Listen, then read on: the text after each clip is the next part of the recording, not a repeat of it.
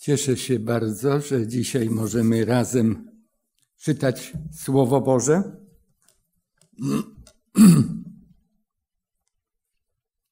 Kiedyś jeden z walijskich kaznodziejów stanął przed zborem, w którym był pastorem i przeczytał właśnie ten tekst, który dopiero co przebrzmiał. Ja chciałbym go jeszcze raz przeczytać, abyśmy wokół tego tekstu i w oparciu o ten tekst omówili sobie zagadnienie naszego życia, naszego kroczenia za Chrystusem i z Chrystusem, sięgania po zbawienie, które dla nas wyjednał na krzyżu Golgoty. Musimy tym baczniejszą zwracać uwagę na to, co słyszeliśmy, abyśmy czasem nie zboczyli z drogi. Bo jeśli słowo wypowiedziane przez aniołów było nienaruszalne, a wszelkie przestępstwo i nieposłuszeństwo spotkało się ze słuszną odpłatą, to jakże my ujdziemy cało? jeżeli zlekceważymy tak wielkie zbawienie? Tu przerwał i powiedział: Czy ktoś z Was zna odpowiedź na to pytanie, które w tym tekście się znajduje? Jakże my ujrzymy, ujdziemy cało, jeśli zlekceważymy tak wielkie zbawienie. Dalszy ciąg był czytany w całości przed chwilą. I ja chciałbym, abyśmy dzisiaj porozmawiali nieco o zbawieniu naszym. Pojęcie zbawienia, zbawienie, w ogóle to słowo, ten rzeczownik jest wieloznacznym słowem. Zbawić, zbawienie oznacza również uwolnienie, wybawienie, wyzwolenie, a także uleczenie, ratunek, wyrwanie z opresji. To wszystko jest określane w Piśmie Świętym tym jednym pojęciem zbawienie. W liście do Hebrajczyków apostoł nazwał go wielkie zbawienie. Zbawienie, które nie ma sobie równych. Widocznie w oparciu o tę wieloznaczność terminu zbawienie. To nie jest zbawienie od czegoś tam. Bóg ciągle człowieka z czegoś ratuje. Wyratował Noego i jego rodzinę, wyratował Abrahama, wyratował Lota i tak moglibyśmy mnożyć te przypadki. Bóg jest specjalistą od zbawienia, od ratowania. Otwórzcie ze mną Psalm 106. I tutaj w 106 psalmie przeczytamy jeden tekst, a następnie przejdziemy do psalmu 107, nie zmieniając stronicy, nie otwierając nic więcej, aby zobaczyć przykłady tego zbawienia. W 106 tekście, y, psalmie czytam wiersz 43 wiele razy ich wybawiał. Lecz oni buntowali się w zamysłach swoich upadli przez swoje winy. lecz wejrzał na ich niedole i wysłuchał ich wo wołania. Przypomniał sobie o przymierzu i znowu miłosierdzie go poruszyło i znowu ich z czegoś wyrywał, znowu ich z czegoś wybawiał. Przykłady tego eksponuje nam psalmista w psalmie 107, wiersze czwarty do szóstego. Błądzili po pustyni, po pustkowiu, nie znajdując drogi do miasta zamieszkałego. Byli głodni, byli spragnieni, dusza w nich omdlewała. Wołali do Pana w swojej niedoli i On wybawiał ich z utrapienia. Jest to zbawienie Boże. Inna sytuacja. Od dziesiątego wiersza czytam. Siedzieli w ciemności, mroku, związani nędzą i żelazem, ponieważ sprzeciwili się słowom Bożym, pogardzili radą Najwyższego, serce ich upokorzył trudem, słaniali się i nikt im nie pomógł.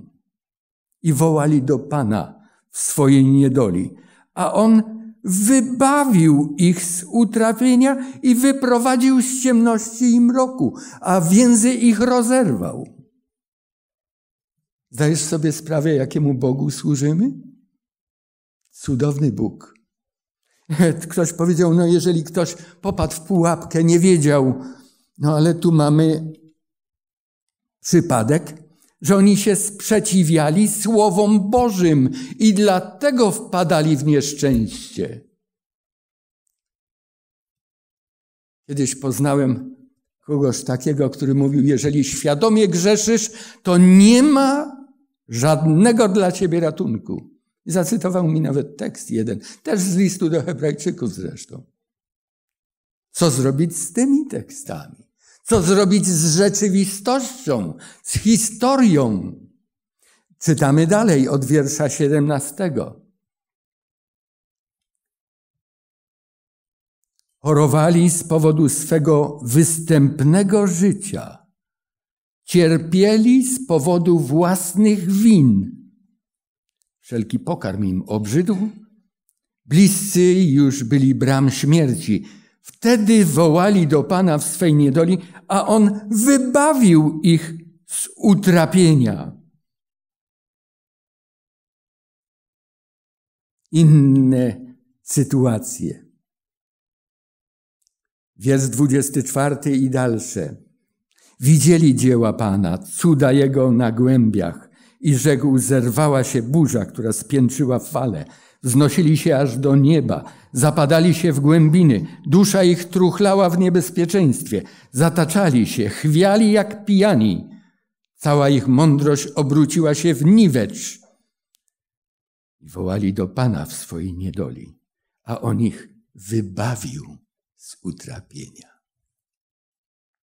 Gdy mówimy o Bożym zbawieniu, to bardzo często, i to dobrze, Myślimy o tym, jak Bóg prowadzi nas przez nasze życie. Wiedząc, kim jesteśmy, wiedząc, na co zasłużyliśmy. On dopuszcza doświadczenia, trudności, ale nie ponad miarę, jak to apostoł napisał, ale doprowadza do sytuacji, kiedy widzisz, że nie ma dla ciebie żadnego wyjścia. To jak ten młodszy syn przy korycie świńskim, który i tam nie mógł nic się pożywić. Wtedy zaczął rozmyślać. To jest cel Bożych doświadczeń. I to są wybawiania Boże raz za razem w naszym życiu. Chyba nie ma takiego człowieka, który by nie zauważał, że niejednokrotnie powinien zginąć.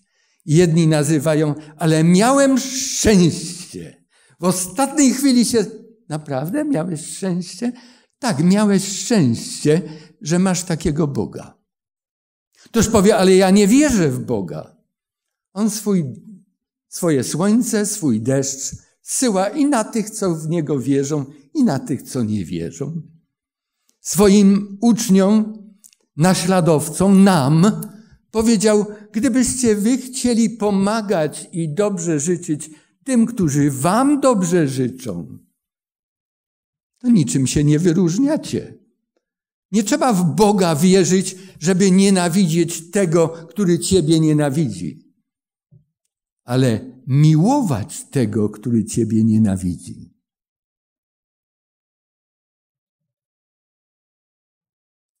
I tu powody takich zachowań mogą być różne, bo mi się to opłaca. Zacisnę zęby, wytrzymam, ale później coś z tego będę miał. Inaczej jest z Bogiem. A nawet gdybyś taką postawę zajął wobec Niego i popadniesz w tarapaty życiowe, On cię uratuje. On cię zbawi. Pomyślmy o naszych modlitwach. Jaka jest treść takiej przeciętnej Twojej modlitwy, mojej też? Prosimy o zdrowie, o to, żeby ból ustał, a żeby dziecko urodziło się zdrowe, aby ktoś, kto popadł w nałogi, mógł się ocknąć.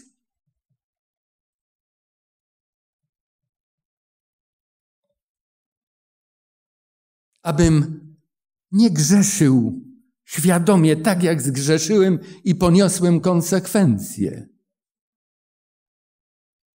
Czy nie zauważamy, że gro naszych modlitw dotyczy tych kazualnych ratunków, tego zbawienia, które opisują psalmiści w psalmie 106, 107? W liście do Hebrajczyków jednak apostoł mówi o wielkim zbawieniu Jezusa.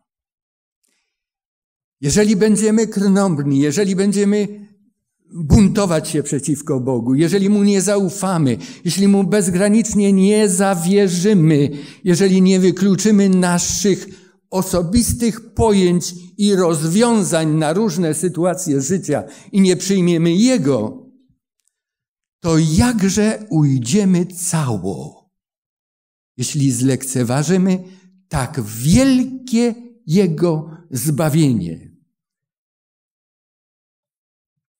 Naród izraelski, który był prowadzony, a może powinniśmy przeczytać sobie, żeby mniej mówić, a więcej niech mówi Słowo Boże, dziesiąty rozdział pierwszego listu do Koryntian.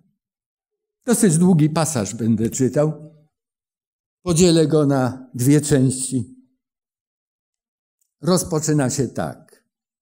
Chcę, bracia, abyście dobrze wiedzieli, że ojcowie nasi wszyscy pod obłokiem byli, Wszyscy przez morze przeszli, wszyscy w Mojżesza ochrzczeni zostali w obłoku i w morzu, wszyscy ten sam pokarm duchowy jedli, wszyscy ten sam napój duchowy pili, pili bowiem z duchowej skały, która im towarzyszyła, a skałą tą był Chrystus.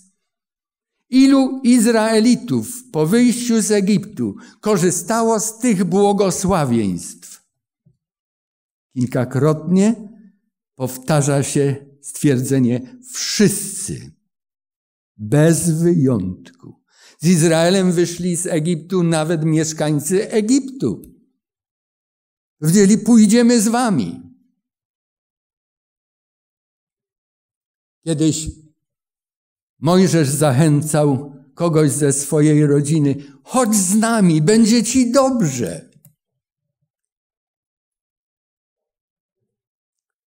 Ten człowiek wtedy nie przystał na tę propozycję. Czy rozumiał to do końca?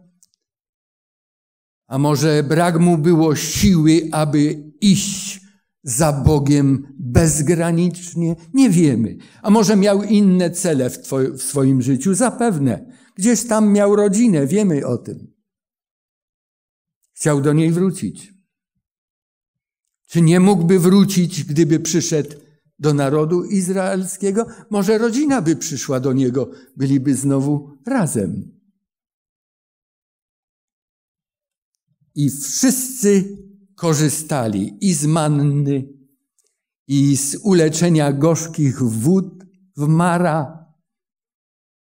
I jak chcieli mięsa, to mieli go tyle.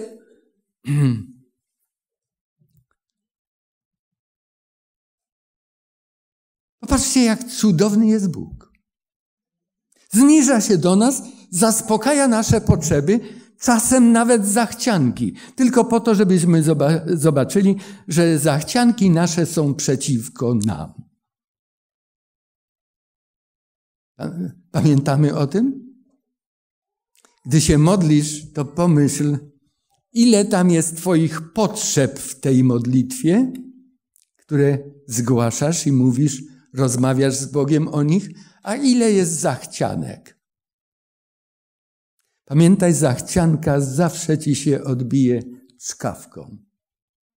Przykłady tego mamy też w Biblii, ale dzisiaj na ten temat nie chcemy rozmawiać. Wiersz piąty jest ciekawy. Tych wszystkich, których tak ubłogosławił i prowadził. I doprowadził na granicę ziemi obiecanej, ziemi mlekiem i miodem płynącej. W wierszu piątym czytamy, w większości z nich, z nich to znaczy z kogo? Z tych wszystkich. W większości z nich nie upodobał sobie Bóg. Ciała ich bowiem zasłały pustynię. Dlaczego? Doraźnie był zawsze z nimi, a gdy chodziło o najważniejsze, wprowadzenie ich do ziemi obiecanej.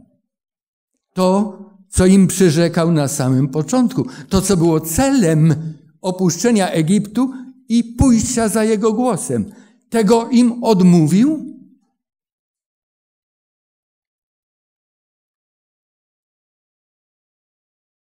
Czytamy, że nawet mieli przedsmak tej ziemi. Wysłali dwunastu takich zwiadowców. Przepatrzyli tę ziemię.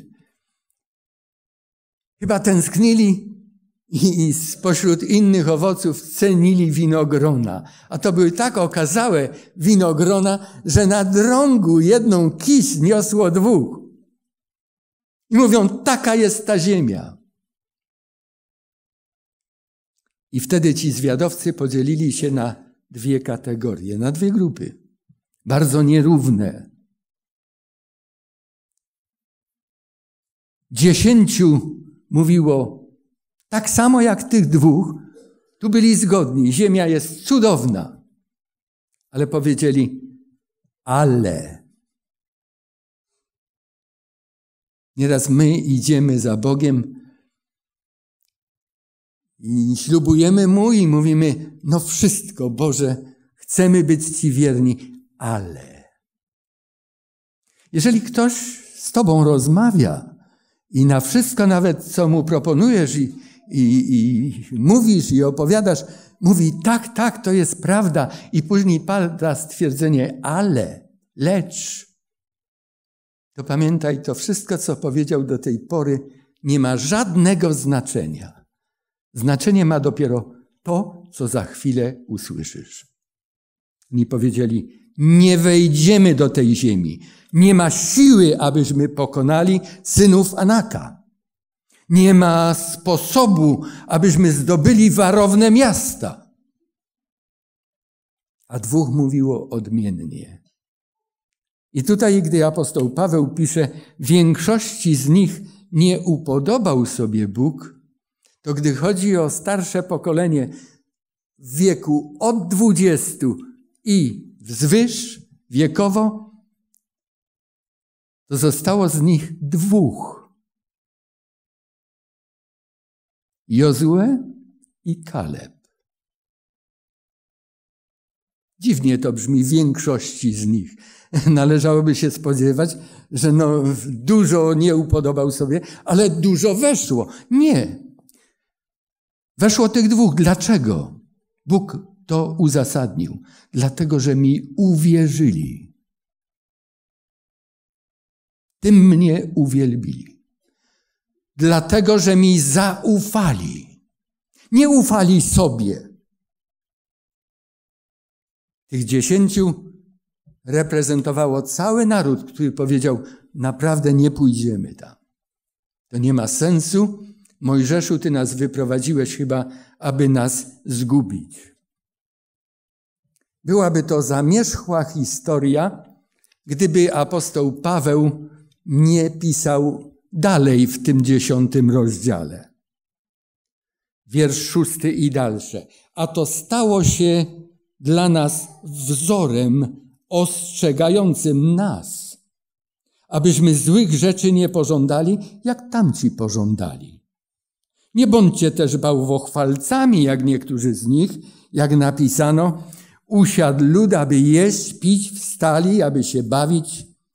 Nie oddawajmy się też wszeteczeństwu, jak niektórzy z nich oddawali się wszeteczeństwu i padło ich jednego dnia dwadzieścia i trzy tysiące. Ani nie kuźmy Boga, jak niektórzy z nich kusili i od wężów poginęli. Ani nie szemrajcie, jak niektórzy z nich szemrali i poginęli z ręki niszczyciela. To wszystko na tamtych przyszło dla przykładu i jest napisane ku przestrodze dla nas. Dla nas, czyli kogo? Dla nas, którzy znaleźliśmy się u kresu wieków. Jeżeli pojęcie kresu wieków było aktualne w czasach apostoła Pawła, to czy straciło na ważności dzisiaj?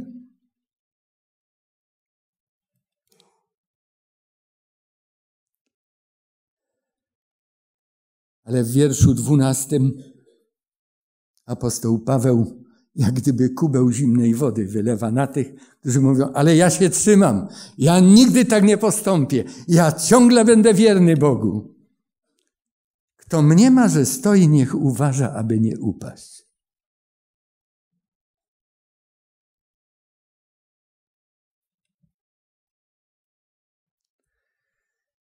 Gdy czytamy o zbawieniu Jezusa Chrystusa, i o tym częściowym ratunku, który przychodził w odpowiedź na, na wołanie, na krzyk z ziemi, bo nie wyrabiamy, nie dajemy sobie rady.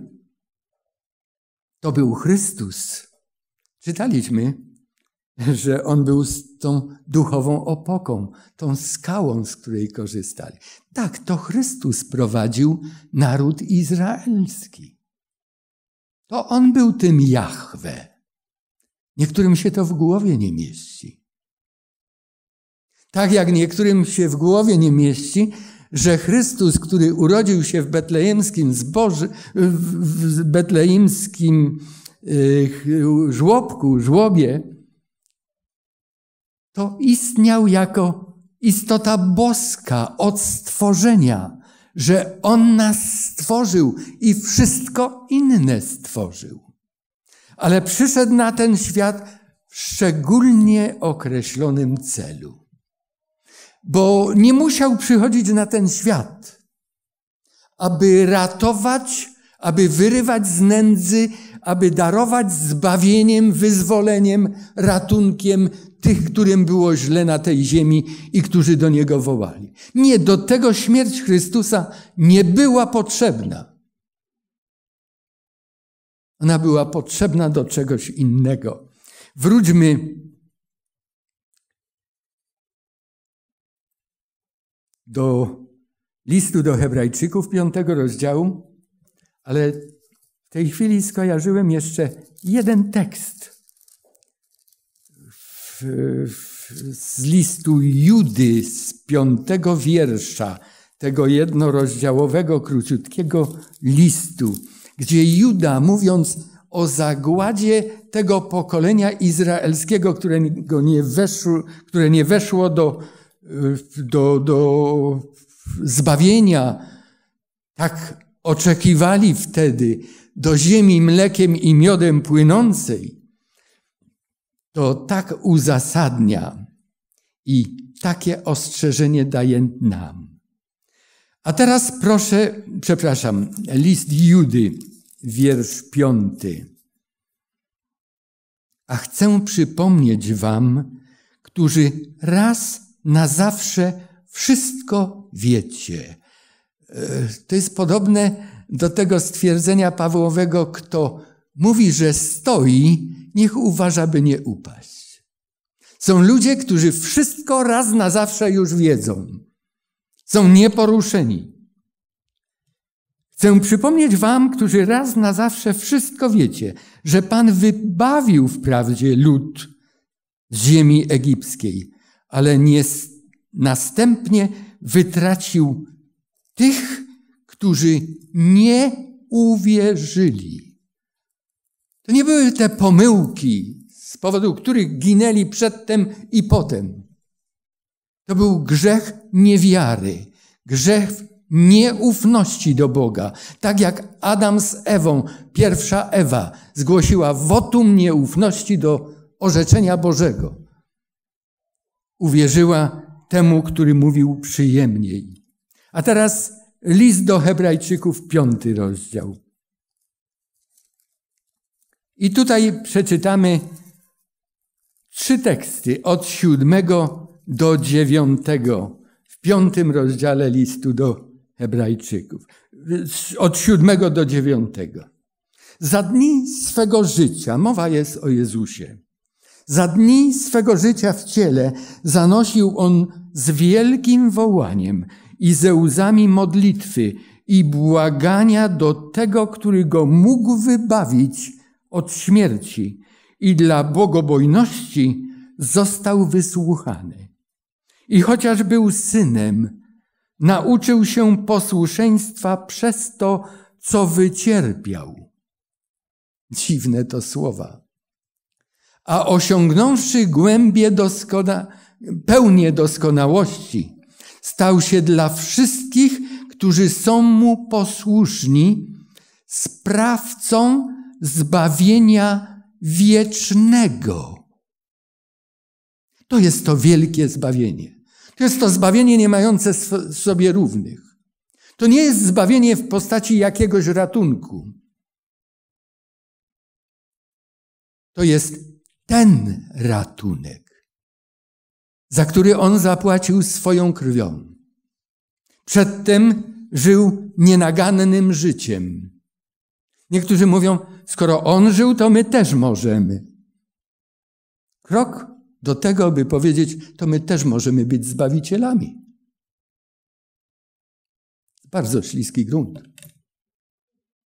Ale to nie jest naszym dzisiejszym tematem, to nawiasem. On stał się dla wszystkich, którzy są mu posłuszni. Juda to napisał, którzy wierzą, podobnie Paweł. Stał się sprawcą zbawienia wiecznego. To zbawienie wieczne jest dla wszystkich ludzi, bez względu na rasę, na język, na status społeczny. Każdego. On przelał krew za wszystkich nas.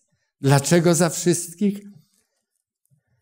Lubię ostatnio mówić na ten temat i teraz Was zapraszam do listu do Rzymian, do trzeciego rozdziału.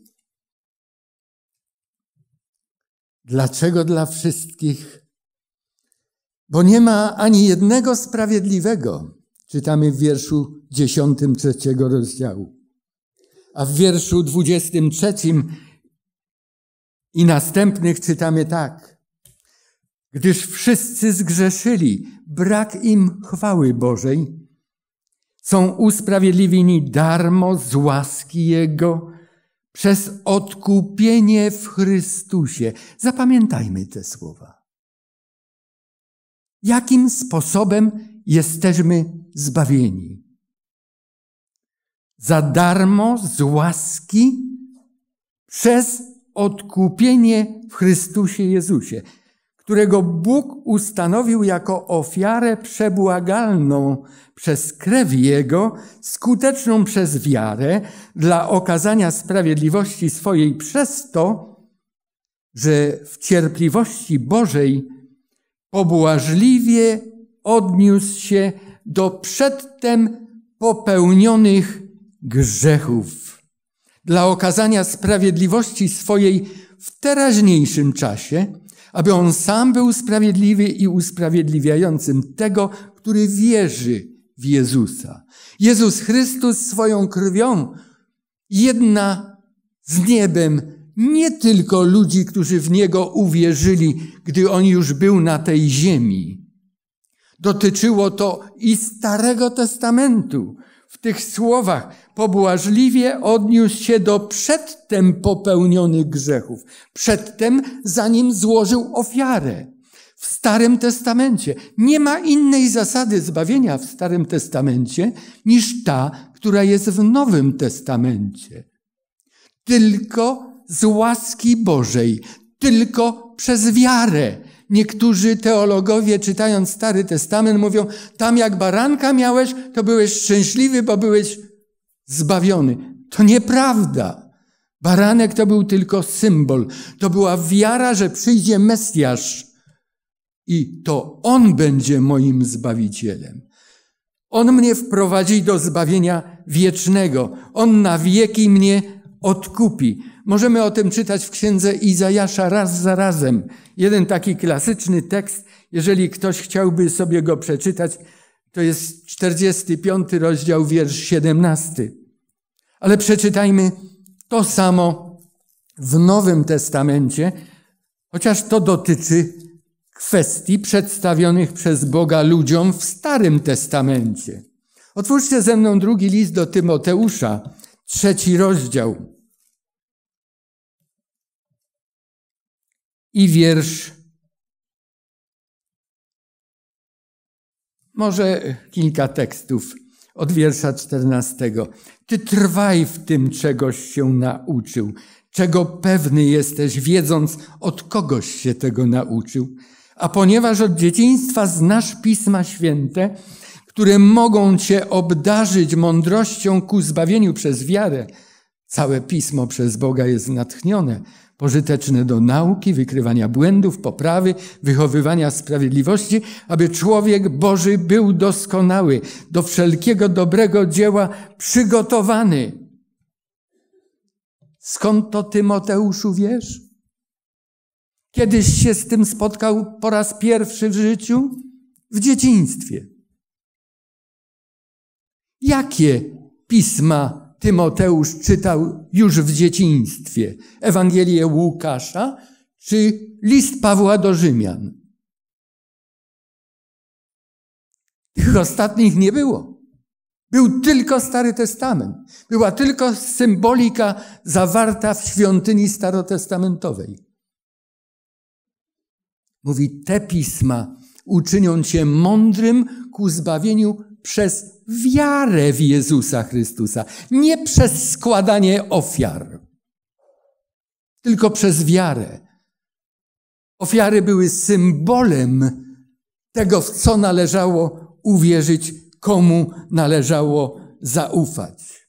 Gdy Jezus Chrystus miał się urodzić, to w Ewangelii Mateusza jest sprawozdana taka informacja w pierwszym rozdziale i wierszu dwudziestym pierwszym.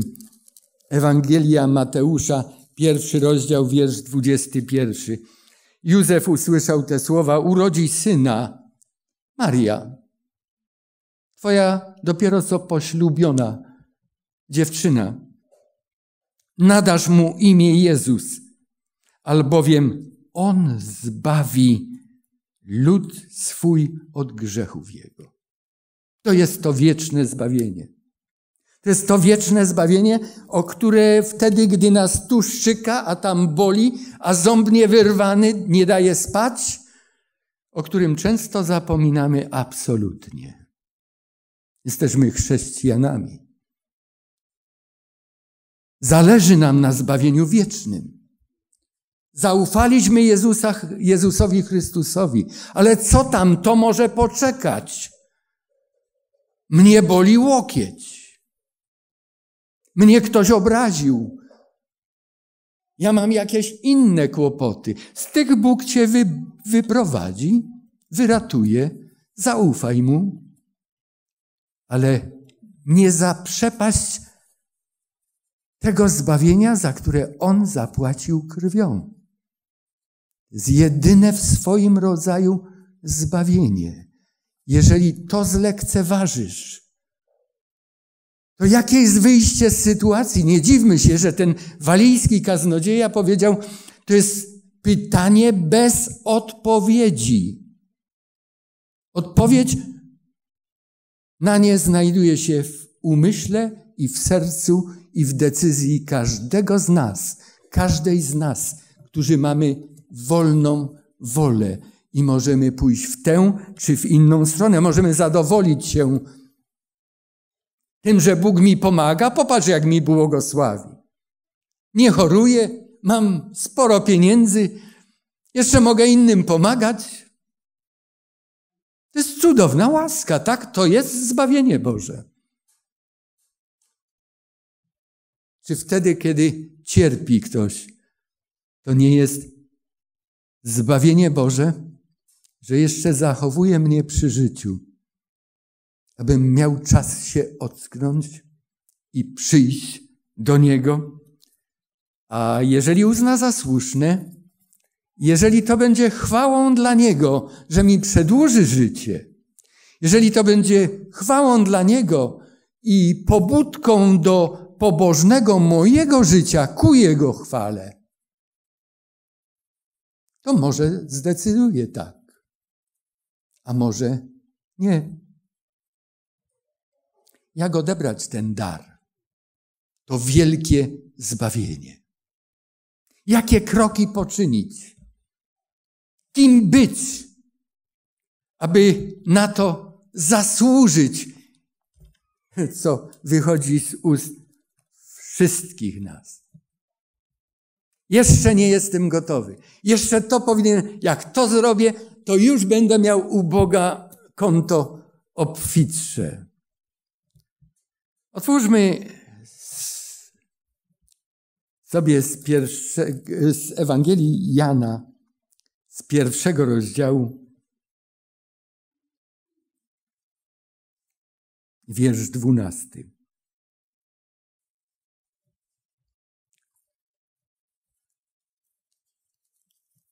Poprzednie teksty mówią nam o doświadczeniu Chrystusa na tej ziemi. Jak był wzgardzony, jak przyszedł do swoich, oni go odrzucili. E, nikt w niego nie uwierzył. A on był tą światłością, która oświeciła każdego z nich. W pewnym stopniu, szczególnie w narodzie wybranym, narodzie przymierza, powinni go rozpoznać, a jednak nie.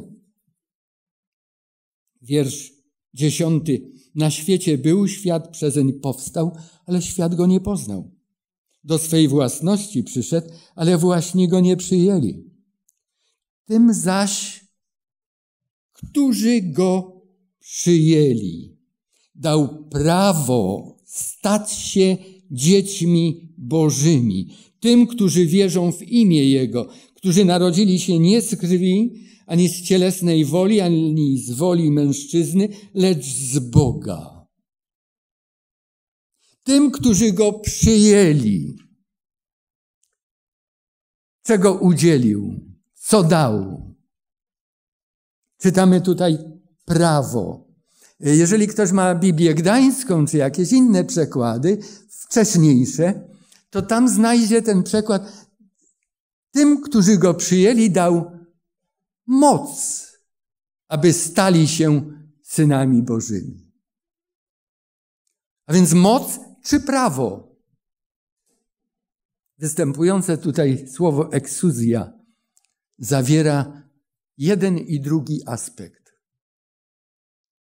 Masz prawo do tego, ale ja ci gwarantuję moc, która cię do tego uzdolni. I skorzystasz z tego.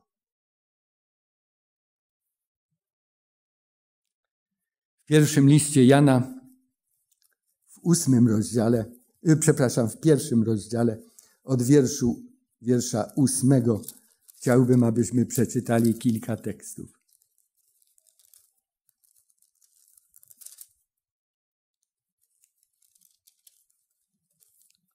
Nie wiem, czy wasze kartki tekst Biblii też się tak źle odwracają jak w mojej.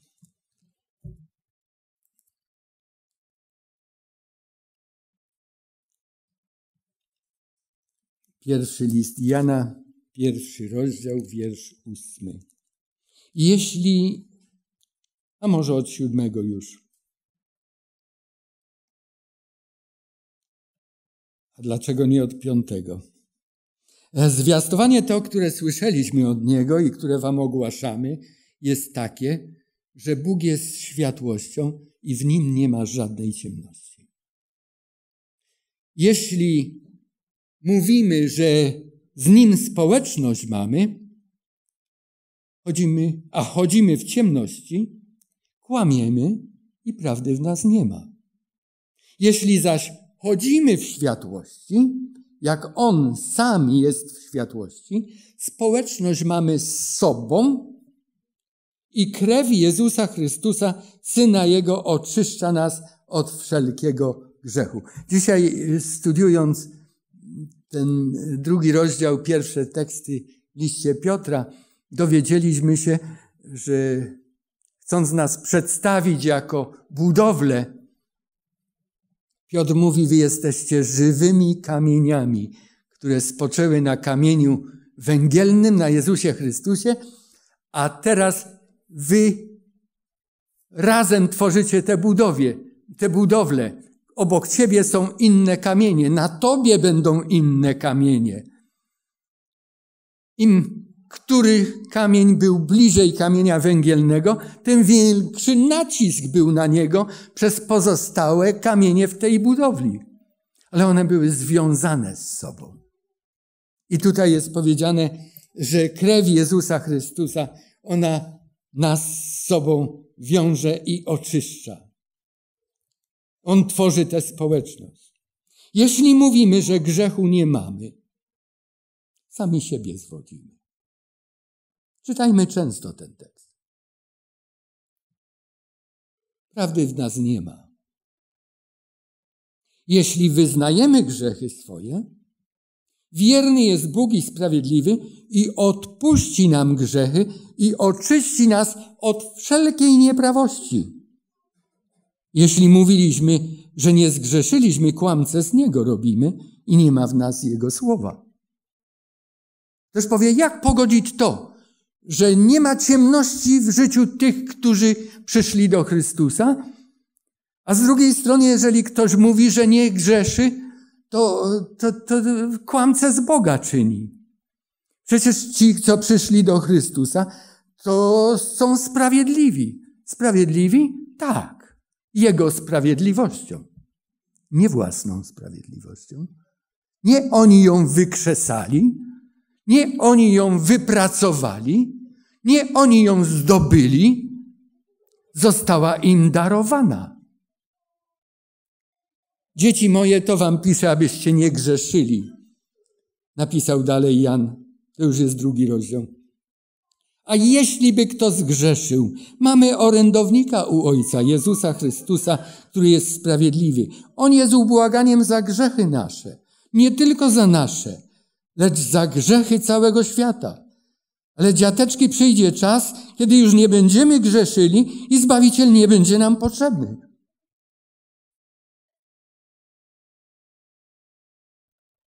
Jakie to dziwne, że zamiast czytać to, co jest napisane i myśleć o tym, co jest napisane, my chcemy w naszej świętości, w naszym pojęciu świętości dodać jeszcze coś do czegoś i kogoś ukształtować. Drugi rozdział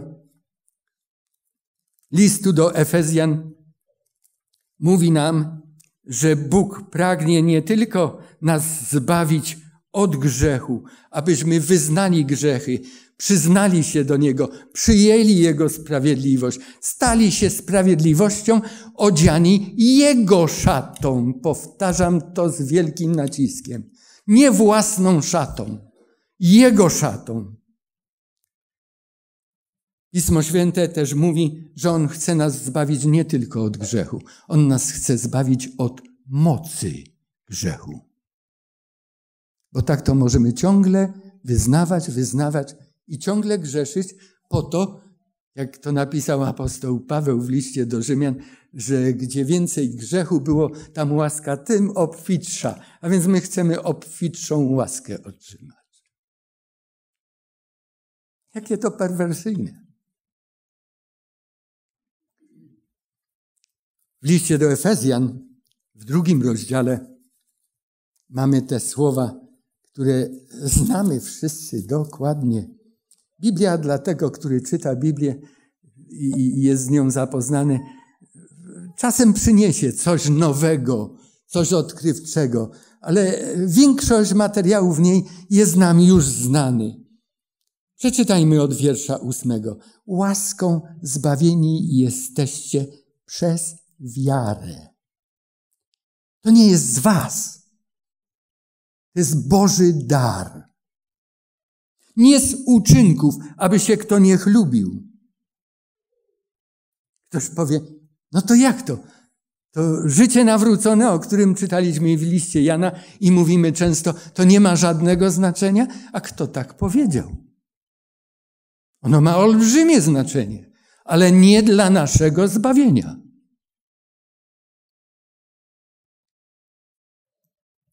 Ono ma znaczenie dla nas, dla kształtowania nas i dla błogosławieństwa ludzi, żeby im było dobrze z nami.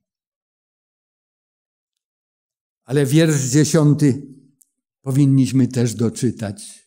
Wielu ludzi, którzy mówią tylko o łasce, prawie nigdy nie czyta wiersza dziesiątego. Jeszcze raz wiersz dziewiąty i dziesiąty. Nie z uczynków, aby się kto nie chlubił.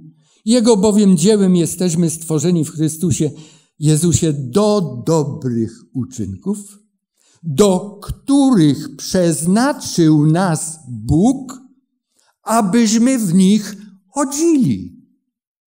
Aha. Uczynki nie mają wpływu na zbawienie, ale gdy jesteś zbawiony, gdy przyjąłeś Jezusa Chrystusa, to On cię nigdy nie zostawia takim, jakim cię znalazł. Jesteś dla Niego członkiem tego królewskiego kapłaństwa, tego rodu, który nie opowiada o cnotach tego, który nas odkupił, tylko który ogłasza cnoty tego, ogłasza swoim życiem. Bo ma więź z Chrystusem. Gdyby nie miał tej więzi i pozorował, że też coś, coś dobrego potrafi zrobić, potrafi, ale to się nadaje na śmietnik. To jest egoistyczne, egocentryczne, to jest po to, by się pokazać, to jest po to, by komuś wytknąć, że jest gorszy niż ja. Podobny tekst znajdziemy w liście Pawła do Tytusa w drugim rozdziale i tam od wiersza 11 do 14. Ale nas interesuje jeszcze coś. Pewna myśl, którą Paweł zawarł w liście do Koryntian drugim, w rozdziale szóstym i tutaj w pierwszym zaraz tekście. Bo ludzie czytając listy Pawła i do Rzymian, i do Koryntian, naprawdę mieli pewne kłopoty. Piotr zresztą w swoim drugim liście napisał, że w listach Pawła są niektóre rzeczy trudne, które łatwo wykręcić i zginąć, będąc teologiem. Jako współpracownicy, napisał Paweł w liście do Koryntian, szóstym rozdziale i wierszu pierwszym, jako współpracownicy napominamy was, abyście nadaremnie łaski Bożej nie przyjmowali. Mało jest cieszyć się ze zbawienia w krwi Jezusa Chrystusa. Jezus jest moim zbawieniem. Alleluja. Tak, prawda. Jeżeli nie ograniczasz tej łaski Bożej tylko do łaski przebaczania, ale do łaski, która cię kształtuje na nowo. Duch Święty obdarowuje cię darami, wyposaża cię do służby. Jesteś innym człowiekiem. Jesteś naśladowcą Jezusa Chrystusa. Ludzie to zauważają, ludzie z tego mają pożytek. Ale Biblia mówi jeszcze o zbawieniu. Mówiliśmy już od grzechu, od mocy grzechu, ale to wszystko jest niczym w porównaniu z czymś, co jest naszą nadzieją. Zbawienie od skutków grzechu.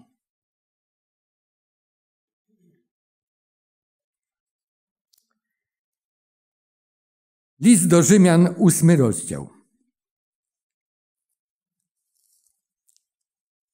Od wiersza osiemnastego.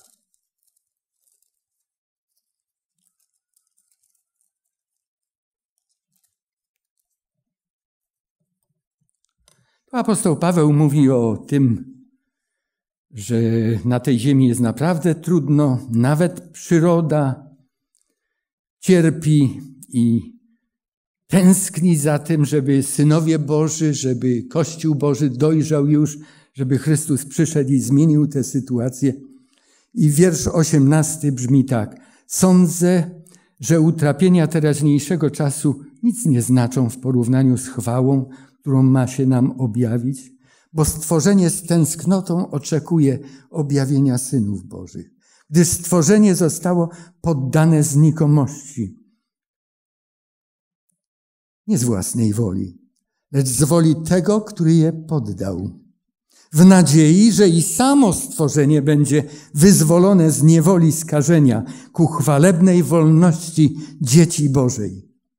Wiemy bowiem, że całe stworzenie wespół wzdycha i wespół boleje aż dotąd. I nie tylko ono, lecz i my sami, którzy posiadamy zaczątek ducha, wzdychamy w sobie, oczekując synostwa i odkupienia ciała naszego. To jest kompletne całe zbawienie. To jest to, czego dokonuje łaska dzięki krwi Jezusa Chrystusa. To, czego On dokonuje sam w nas. Czy Mu na to pozwolimy? Wiem, że niektórzy już może o tej porze spodziewali się być gdzie indziej. Jest 15 po 12, ale ktoś powiedział, że ja chyba bym musiał przestać być Władkiem Kosowskim, żeby szanować czas na co innego miast na studiowanie Biblii. Bo my często mamy na wszystko czas. Tylko kazanie powinno się zmieścić o dwunastej. Ja, ja ten grzech mam, ja go wyznałem Bogu, ale jakoś mam spokój sumienia. Zbory chyba przebłagam. W liście do Filipian apostoł Paweł w trzecim rozdziale napisał takie cudowne słowa. Nasza ojczyzna, to jest wiersz 20 i 21. Nasza ojczyzna jest w niebie, skąd też Zbawiciela oczekujemy, Pana Jezusa Chrystusa, który przemieni znikome ciało nasze postać podobną do uwielbionego ciała swego, tą mocą, którą też wszystko poddać sobie może. Zauważacie to samo w liście Pawła do Rzymian? Odkupienie ciała naszego. Tutaj mówi przemienienie nas w nową rzeczywistość, jako nowi ludzie wyjdzie, wejdziemy. Wtedy grzech nad nami nie będzie już panował. Ktoś przeczytał tekst z listu do Rzymian, grzech nad wami nie będzie panował, boście nie pod zakonem, tylko pod łaską. I wyrzucił zakon, wyrzucił przykazania. Nie, to nie tak działa, to nie tak funkcjonuje. To funkcjonuje tak, że jeżeli oddasz Chrystusowi całe swoje życie i zapragniesz, żeby On był Panem Twoim, On nie odrzuci Cię. Powiedział: Ja nie odwrócę się i nie odrzucę precz tego, kto do mnie przychodzi. Ale gdy przychodzi, On chce być nie tylko sublokatorem w moim życiu, ale On chce być Panem mojego życia. Taki wiosnę w tej chwili mamy. Wszędzie kwiatki kwitną, trawa się zieleni. Kiedyś taki mały Jacek poszedł z mamą na działkę. Mieli piękne grządki. Mama to była prawdziwa ogrodniczka. Sadziła kwiaty, cebulki, niektóre przechowywała, na wiosnę przynosiła, niektóre zostawiała na zimę w ziemi i później wiedziała, jak, je, jak wydobyć z nich piękno i życie na wiosnę.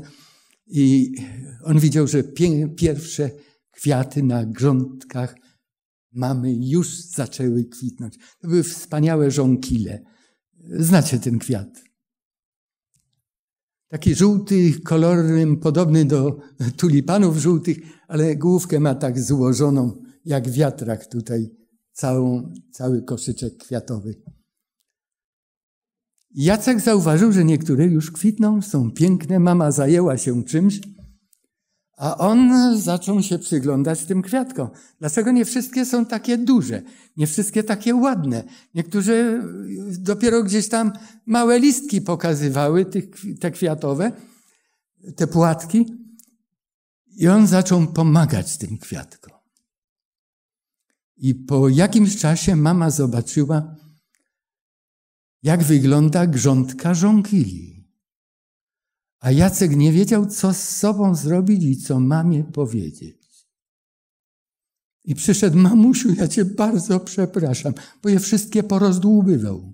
Chciał wydostać kwiat ze środka, bo wiedział, obserwując kwiaty, że w niektórych już były prawie na wierzchu, w niektórych troszeczkę trzeba było pomóc, już by było. A więc on, on wszystkie starał się wydostać. Nie wiedział, jak mama zareaguje. Mama była rozzłoszczona, tak jak ten tata, o którym słyszeliśmy, podsłuchując historię dla dzieci. Ale później pomyślała, i gdy on tak ze łzami w oczach mówił, mamusiu, ja cię tak przepraszam, ale ja chciałem im pomóc. Mama powiedziała, słuchaj syneczku, no stało się, co się stało. Nigdy nie pomagaj niczemu i nikomu, kto ma się od wewnątrz rozwijać, aby go rozdłubywać i pokazywać mu, co ma kiedy robić. To jest sprawa Boga. Jeżeli Chrystus jest w sercu, on wie, który kwiat, kiedy i jak ma okazać się w całej okazałości, okazać w okazałości. Dobrze. W, Ewa, w Apokalipsie, w trzecim rozdziale, wierszu dwudziestym, Chrystus mówi, ja stoję u drzwi. Słyszysz ten głos? Otwórz. Gdy mu pozwolisz zamieszkać w swoim życiu, on spowoduje, że zakwitniesz. Co nie znaczy, że pozbędziesz się grzesznego ciała wcześniej, niż on przyjdzie. Dopiero wtedy, uwolnieni od tego ciała, będziemy mogli powiedzieć, że mamy wieczne zbawienie. Ja tęsknię za nim. Sądzę, że każdy, każda z nas. Niech Bóg pozwoli nam się spotkać tam.